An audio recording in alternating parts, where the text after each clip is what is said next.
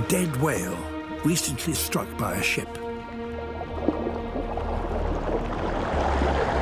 This could be a real feast, but the blue shark must be cautious.